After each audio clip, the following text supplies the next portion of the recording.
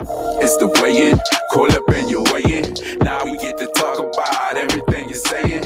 Analyzing topics, dropping knowledge, we ain't playing. When you think it's about to end, shit, we crank it up again. Hold up. Uh, what's going on, ladies and gentlemen? We back with another one. You already know what it is. It's the weigh-in boxing. We live with the weigh-in reaction. This is my reaction to the weigh-in, ladies and gentlemen, between Terence Crawford and Errol Spence. Errol Spence, Terence Crawford, both look in tremendous, tremendous physical shape. Their physical shape is on Paramount. I'm talking about shredded. They both came out happy and ready to one step on the scales for the fantasy, but two to congratulate each other. I love that little interaction between both of them, where both of them was able to congratulate each other. Listen, we did this.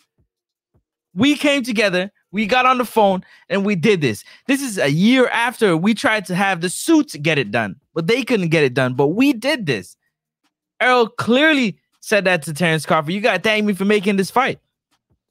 Why I gotta make the fight when it's my name first on the list. Why I gotta flip a coin? Why I gotta do this? Why I gotta do that? So it's amazing to see that both these fighters, one, they don't got a rah rah to show respect that we both about to make some money. Now, mind you, maybe if there was a little bit of rah rah, we might have got maybe another five hundred thousand buys on pay per view, because you know that that that type of energy sells, and so it never happened.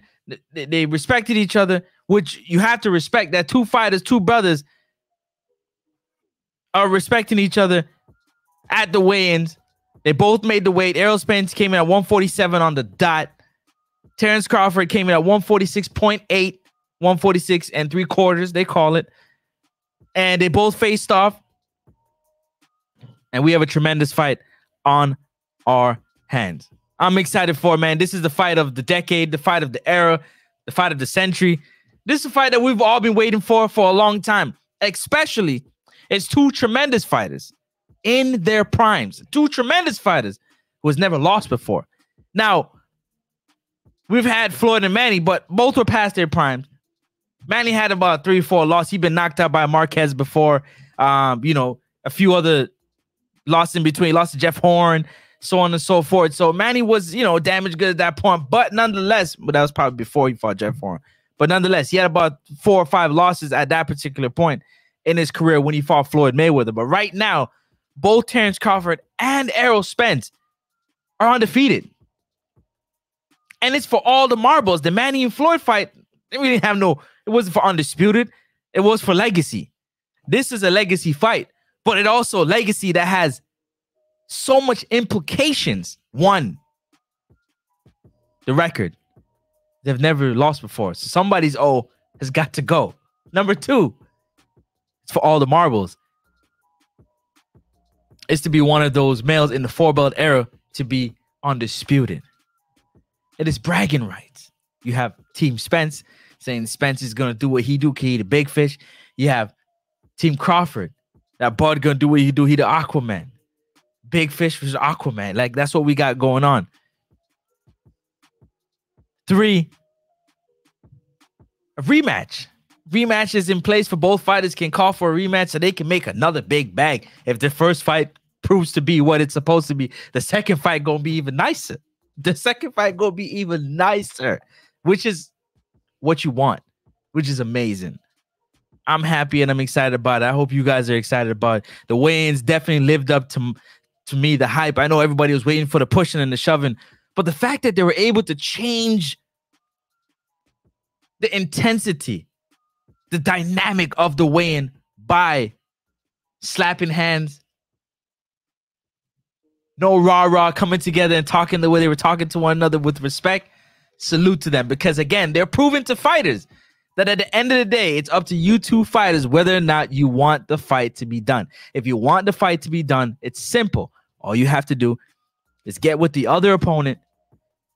Somebody, they got to be concessions either way. Got to be giving up on this side, giving up on this side, but nonetheless, it can happen. It can happen. There just has to be the right balance at the right time. The talking's almost over. The talking is almost over. They both made the weight. So half the battle's already done, which is the scale. They both made the weight. Now it's time for them to get in the ring and put on performance. Let me know in the comment section who you picking. Errol Spence, Terence Crawford. You know, it's a seesaw back and forth 50 50. Let's go, man. It's the Weigh-In Boxing. Hit the like button one time for the algorithm. Hit the share button. Let other people know about the video, about the content we're dropping over here. And we appreciate it so very much. Everybody out in Vegas getting the content. Salute to y'all. Y'all stay safe. A lot of things going on there in Vegas, but none bigger than Errol Spence versus Terence Crawford. Appreciate y'all tapping in for sure. Like I said before, hit that subscribe button if you haven't, man. Look at both these brothers showing love and respect to one another. They about to rip each other's head off, but they both, they both showing respect. Like, yeah, we about to do this. We about to make history, and we about to make bank. You gotta love and respect that, man. So shout out to y'all. You already know what it is. It's Francis on the Weigh-In Boxing. My reaction to the weigh-ins. I'm outie. Five thousand. It's the weigh-in. Call up and you're weighing. Now we get to talk about everything you're saying. Analyzing topics, dropping knowledge. We ain't playing when you think it's about to end. Should we crank it up again? Hold up.